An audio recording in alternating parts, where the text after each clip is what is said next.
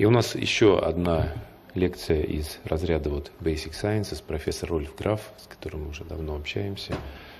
Посвящена она экспериментальным моделям животных в гастроэнтерологии.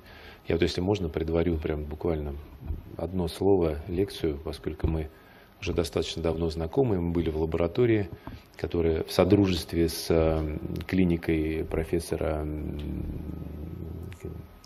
Клавьена э, функционирует, то есть такая хирургическая клиника, и там вот такое содружество, оно дает мне потрясающие результаты научные.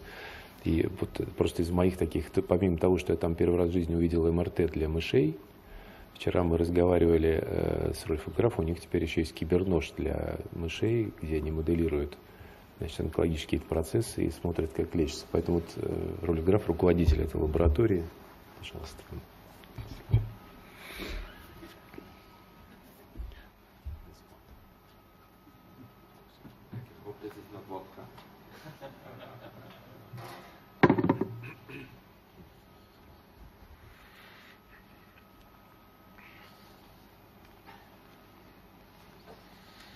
Thank you, Igor, for inviting me. And as member of the Council of the uh, European Panc- Pancreatic Club, I would like to extend our greetings and best wishes to the Russian Pancreatic Club. It's blooming, and uh, I think it's an honor to be here. And I was, I was given a task, or rather, chose the task to review a bit the animal models of pancreatic disease that are currently used or have been developed to dissect the disease that sometimes is very difficult to understand in the human situation. So if you do a um, search on PubMed, you type in a few keywords such as model acute or chronic pancreatitis or pancreatic cancer, you get quite a few hits, particularly with mice and with rats. And uh, if you look at the distribution, this is not hard science. This is a sort of a, an overview. Um, you you will find that uh, acute pancreatitis is most commonly used with uh, mice and rats, while, for instance, pigs and dogs have still have been used, particularly in the past, not so much now. Uh, also, cats, zebrafish for certain approaches, the opossum, very exotic animal. Uh, I would like to say that dogs and cats are not in use anymore, particularly in certain societies where um, they are uh, commonly used as pets, and the, the, society will not accept this sort of uh, uh, use. Whereas pigs, you can eat, you can also work with, um, is more useful and also may have some clinical uh, or preclinical implications. So I'm just going to go through some uh, very basic things. Of course, uh, we can start with acute pancreatitis and uh, uh, go on to chronic pancreatitis and end up with pancreatic cancer. Uh, this is sometimes a sequel, sometimes not. Uh, pancreatic cancer um, is a risk factor for chronic pancreatitis. In animal models, mostly it's not the case. So you, if you want to work on pancreatic cancer, you don't go to chronic pancreatitis and then try to to uh, get a second or third hit. So if you look at the morphological changes, very similarly here uh, on the left you have uh, acute pancreatitis, on the right uh, chronic pancreatitis. Acute pancreatitis is, uh, among other uh, things, um, in the pancreas, characterized by edema, inflammatory infiltration, and of course what everybody's worried about is necrosis. In chronic pancreatitis, it's uh, more subtle changes that uh, take years to form, which is, uh, for instance, plaque formation that uh, clog the ducts, inflammatory infiltration. Also, necrosis may be a factor, fibrosis, and stone formation, which is a late event, um, but very typical for uh, chronic pancreatitis patients. Along with that, cellular changes, ductal hyperplasia or astenoid duct metaplasia, and of course fibrosis. So several factors may contribute to pancreatitis, um, among which, of course, is alcohol. Everybody believes alcohol is one of the causes. However, I'm more and more convinced that alcohol is not the major factor. It's rather smoking, but you will never see an alcoholic without a smoke. So it's hard to distinguish, and uh, I, I, believe that now there is some evidence that smoking is much more important than alcohol, but uh, suffice it to say that you should get away from both.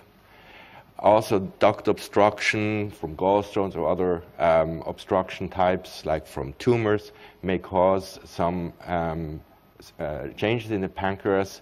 And of course, genetics um, have a large part in this whole uh, pathophysiology of um, pancreatic diseases. So, why do we need a model? Well, if you look at the problems in human disease, um, in human pancreatic research, first of all, the incidence is quite low, uh, still low compared to other diseases. So it's good for the population. You don't have uh, hundreds and thousands of patients, you have a lot, but you don't have that many compared to colorectal disease or others. So it's good for the population, but maybe difficult for the investigator. It's in a not so easy um, location, retroperitoneal location, not so accessible. And also, it's, it's, a bit labor, meaning that if you want to take biopsies, you might uh, run into the danger of uh, risk of induction of pancreatitis or aggravation of the current condition. So usually, surgeons or pathologists don't like to, or gastroenterologists don't like to take biopsies uh, for fear of uh, worsening the situation. So, uh, of course, animal models should somehow reiterate certain pathomechanisms. There's no perfect model, um, meaning that you cannot do everything in one particular animal model, but at least if you have a question, you should be able to address it in a suitable model. And of course, the design should be based on a certain ideology and not just uh, um, hit the animal with a hammer and hope it develops pancreatitis. You have to do something that is hopefully similar to the human disease. Um, I mentioned that already. And of course, if possible, it should be cheap, fast, and reproducible. You don't want to do animal experiments where, which take two, three years because then your competition will uh, maybe think of different things and do it faster. So it has certain aspects of e economy, and of course, thinking about this, you avoid pigs if you if you can do it in a mouse or in a rat, because usually rats and mice, everything develops a bit faster. Uh, also, in terms of genetics, it's easier. So there was a, a publication, a review on uh, uh, some current models of pancreatitis, particularly chronic, acute and chronic pancreatitis, um, in 2013 by Markus Lerch and uh, Fred Gorlick, who basically summarized the, um, the current models. I'm going to go over some of them. I would like to mention, for oh, sorry, would like to mention, for instance, just as uh, as a example, this doesn't reach. Okay doesn't reach here. Um, the DBTC model was a model which is very toxic and it should, in my view, not be used, so I don't really mention it. It was developed in eastern Germany where there's a lot of tin in, in uh, ship, in the shipyards, and it turned out that they developed uh, pancreatic, pancreatitis, but it's a model that's very harsh on the animal. Anyway, so I'm first going to go to the acute pancreatitis and of course uh, the cerulin model. Cerulin is a CCK analog, a stable analog which has been used uh, for, for quite a few uh, years, I would say decades. Uh, then there are other types, uh, obstructive, invasive procedures, amino acids, and so on, that can all be used to answer certain questions in acute pancreatitis. So again, if you go to PubMed, and um, put in secretagogue-induced pancreatitis, uh, cerulin. You get 3,000 hits in PubMed, mainly coming from rats and mice. What they do usually, and this was work performed in the 70s by Lampel and Kern in uh, Marburg, where um, they injected uh, doses, high doses of cerulin or CCK into mice, and they developed some kind of pancreatitis. Uh, this is a bolus injection of 40 to 50 micrograms per kilo, and you do that uh, at hourly intervals between 6 and 12 times during a day, or you can even repeat it further on in the next day to enhance the reaction. So why is this? Why, why use CCK or cerulin? Well, if you look at the at dose response curve of the secretagogue reaction, uh, you measure on the y-axis some release, let's say amylase. You can see that with increasing doses of CCK or cerulean, you have an increasing uh, response. However, unlike other dose response curves, you have a bell-shaped curve, meaning that high doses um, cause a reduction of secretion in amylase or any other um, uh, secretory enzyme in the pancreas.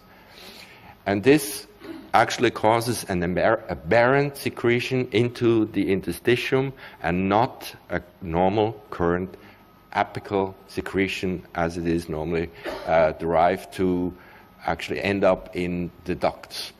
So this is actually the basis for this type of model, and what you have at the very high doses, you induce uh, pancreatitis.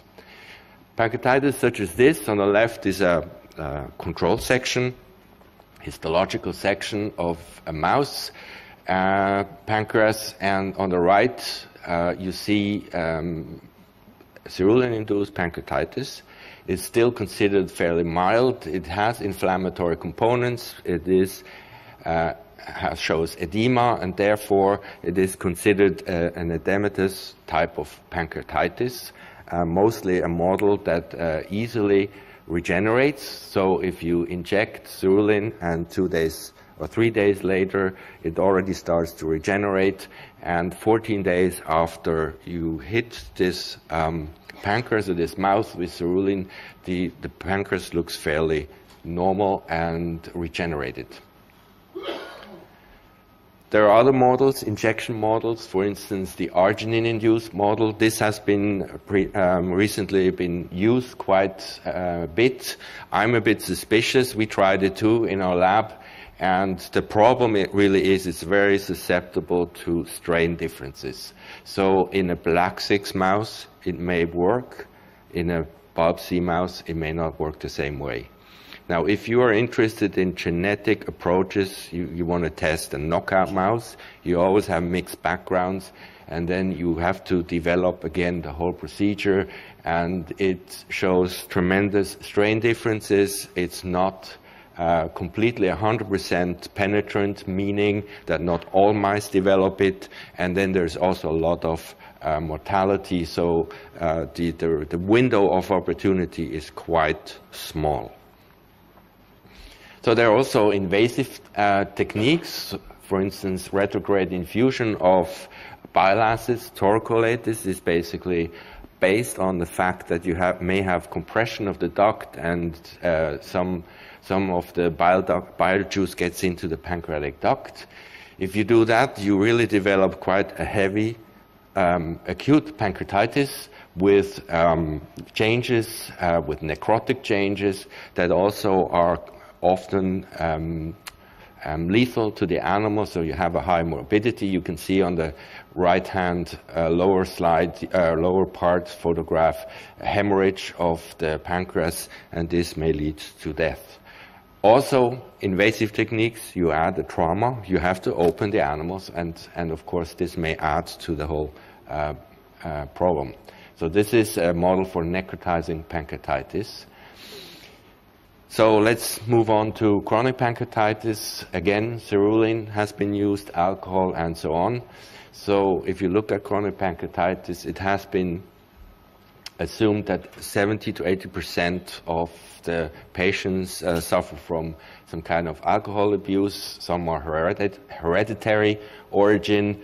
You also have autoimmune disease, tropical pancreatitis, and then there's quite a number of patients that uh, it's still unclear what they really, uh, what's the etiology, the reason for their disease.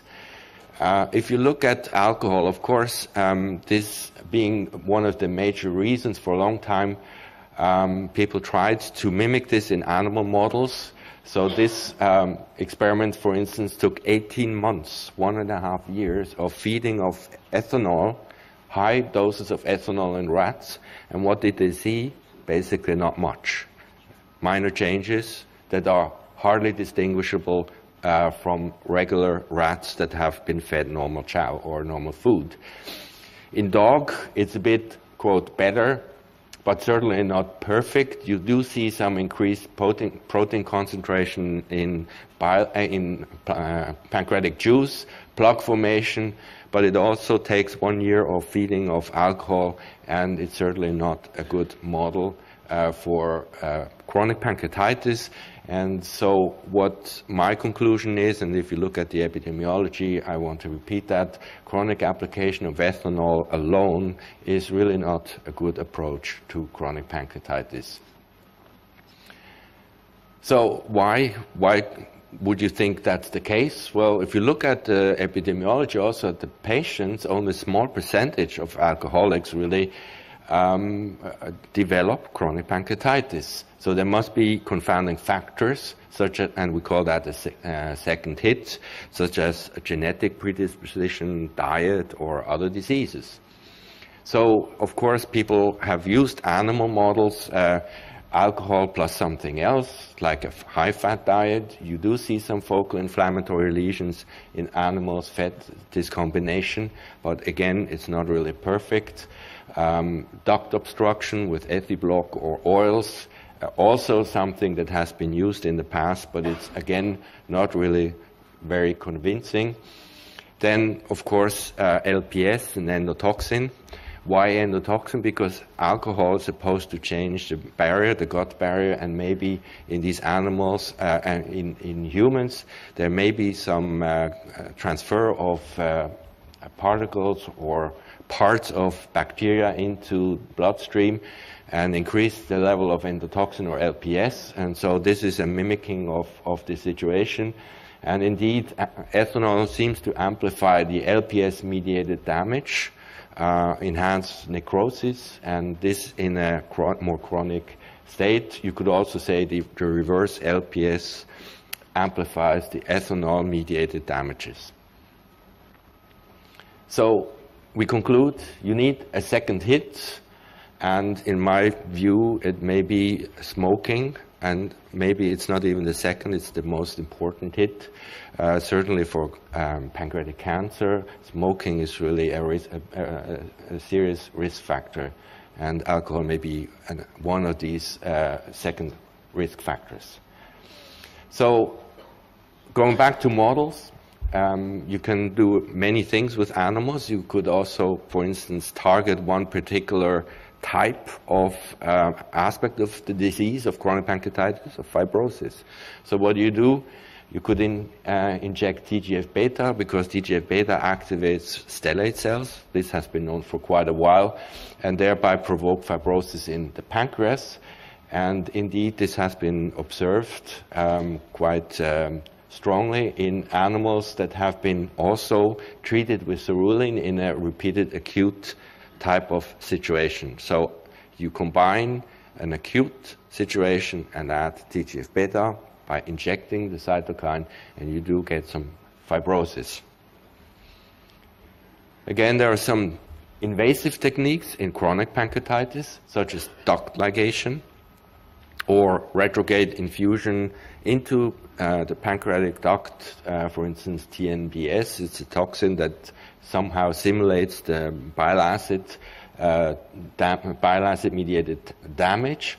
And um, this really, uh, particularly duct ligation, causes uh, severe changes in the pancreatic morphology. You get um, metaplasias, you get duct, uh, ductal changes, which um, may take quite a while in large animals and may take bit uh, not so long in rats and mice, maybe a few weeks. Um, but again, you have to consider that if you do a complete duct ligation, the animal may have a severe problem and die.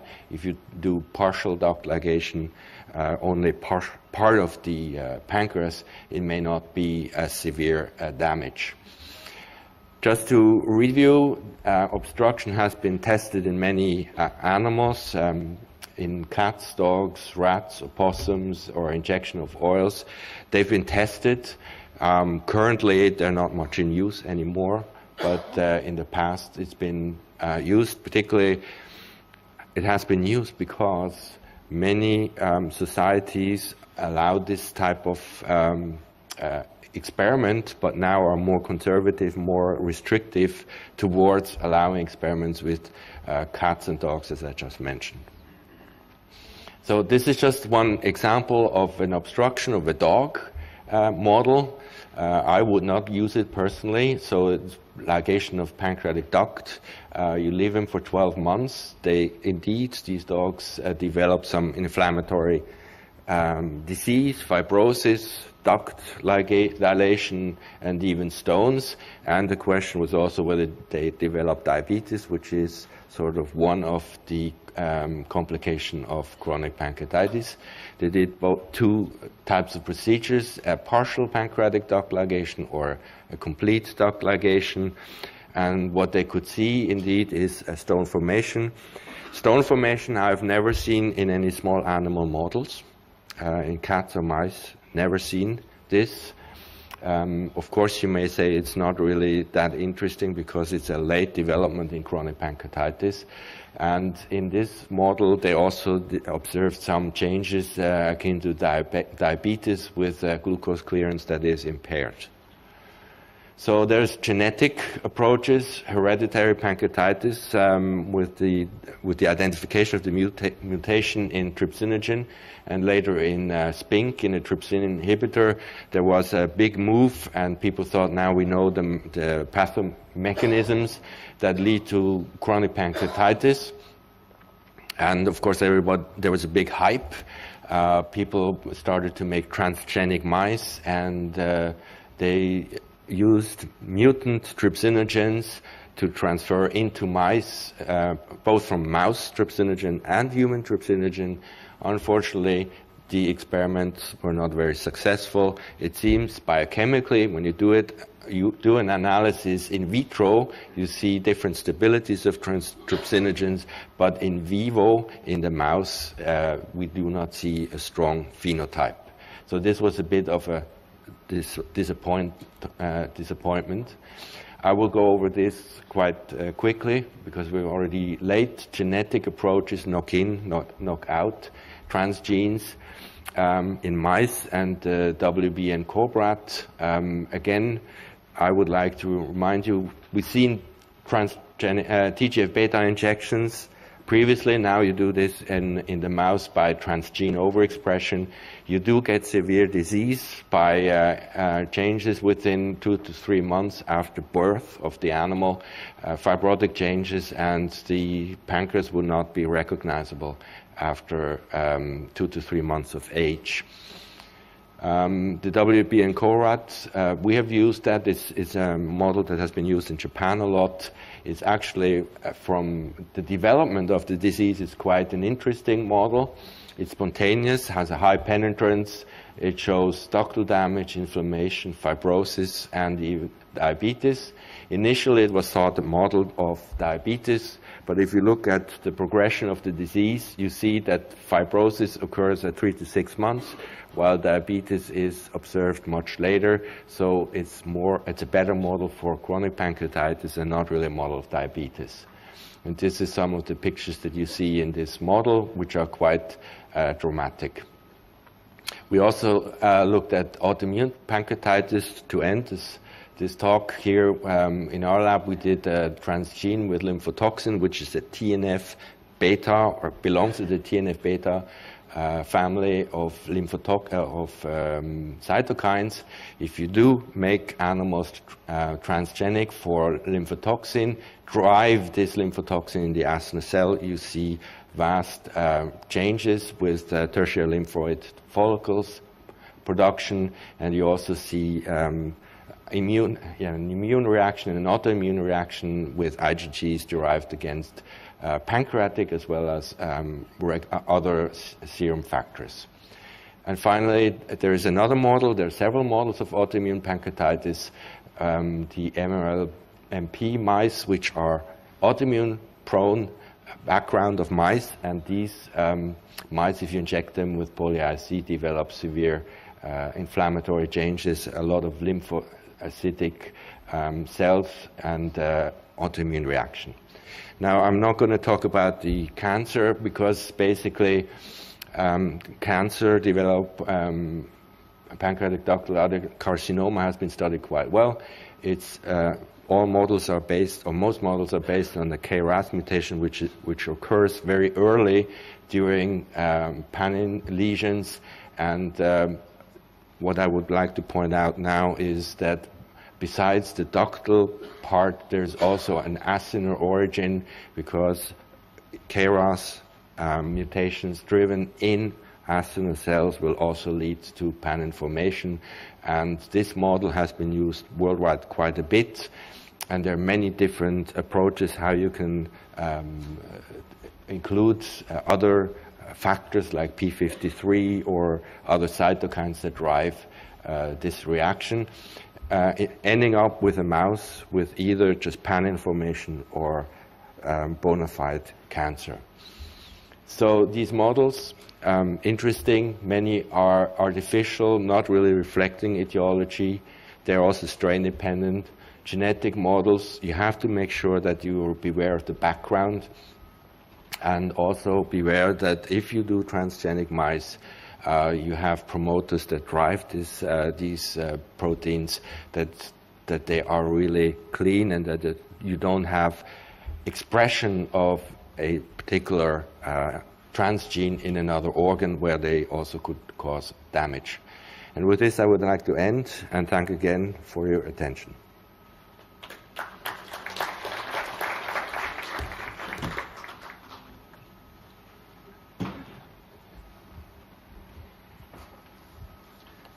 Thank you very much for your talk, and uh, I think that we have a little time for questions. Uh, есть какие-то вопросы в аудитории? Пожалуйста. Professor Graf, thank you very much for your talk. Uh, I've got a little question. What is your personal recommendation for young researchers to which model should they use for experimental chronic pancreatitis? Chronic. For which disease? For chronic pancreatitis. Chronic pancreatitis. Yeah. yeah. Um, you know, currently subjective, su- subjectively. Yeah, subjective, of course. Okay, we we used uh, WB and CoBRAT, and it was a, a very good model to study certain effects. But the the problem is, or it's not a problem, it develops, and you cannot stop it. You know, it it is an unknown genetic predisposition which causes chronic pancreatitis in these males. So you have to go along with that. In the mouse, now you can do a lot with cerulean injections. You can give, um, uh, let's say, three, four weeks of cerulean every other day, which is labor intensive and a bit annoying, but at least you can work in the mouse and you have the opportunity to use transgenic knockout mice. So I would certainly go in that direction because everything points towards this. Again, it's, it's not a perfect world, and if you look at cerulean injections, if you have to do six injections once a day for three, four weeks, it's a lot of a lot of work. You have to keep controls. You have to make sure you have the the the uh, um, the genetic background is very important. Otherwise, you compare apples and pears. So, so currently, cerulean model is the optimal, for yes. your opinion. Well, thank you. Пожалуйста, еще вопросы есть какие-то? Спасибо за очень интересное сообщение. Thank you for your very interesting presentation. Uh, on the basis of the experiments you have made, uh, uh, acute and uh, chronic pancreatitis are different diseases or are they stages of one and the same process? Pancreatitis Are they different diseases or simply stages of one disease? Okay, the, the question is, um, are these are acute and chronic pancreatitis different diseases or stages? I guess if you, I'm not a medical doctor. I have to say, I usually put that up because I'm, you know, a biologist. So, I I don't see patients. Um, but um, if you if if you look at the literature, um, I think the older gastroenterologists look at it as completely different diseases because sometimes etiology is completely different. Um, if you look at hereditary pancreatitis, of course, It's a different disease from acute pancreatitis. But for many approaches in in basic science, you you basically go from an acute to a more chronic situation. You never reach the, the vast fibrosis seen in chronic pancreatitis in man. In, you never reach that in an animal, or hardly ever reach that in an animal. So the, the models here are quite um, uh, not really always reflecting the human disease. Now, whether there are two, I, I believe chronic pancreatitis is a different disease from acute pancreatitis. Um, because many patients with, with acute will never develop chronic, and it's a one in a lifetime disease. So I assume it's different. Спасибо. Еще, пожалуйста, вопрос. Thank you very much for a wonderful lecture. Uh, can you say some words about the efficacy of these models? Uh, I, I, mean, uh, acute pancreatitis. It, it is 100% efficacy, or, it, or it's a little bit less? Well, yes. Uh, in acute pancreatitis, I would say the, the caerulein model, which is the most used model, um, it's, it's close to 100. So you are pretty sure that you get a response.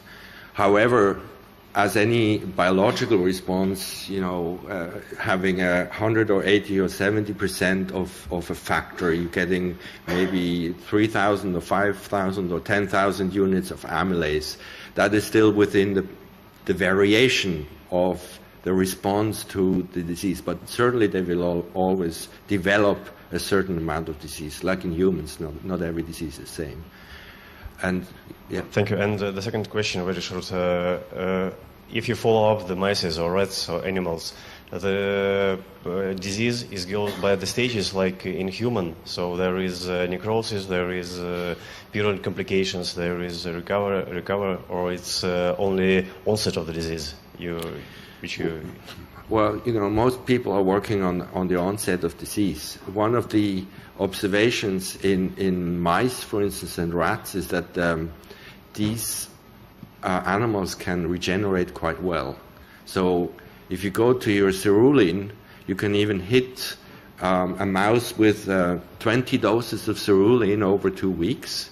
And if you look one week later or two weeks later, you will have an almost regenerated um, pancreas. So the potential, the regenerative potential is maybe a bit better than in humans. So if you want to, this, uh, for instance, develop therapies, you have to do that very early on. Otherwise, it fixes itself. So um, necrotizing pancreatitis, the acute situation, for instance, there it's a difficulty that, of course, um, they may die. So you, again, you have to go in very early.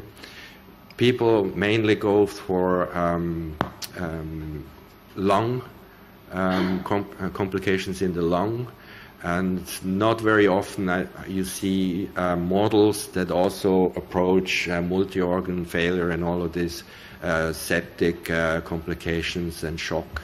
This is most commonly not used in or looked at in um, these models. Thank you very much. Спасибо большое, но мы должны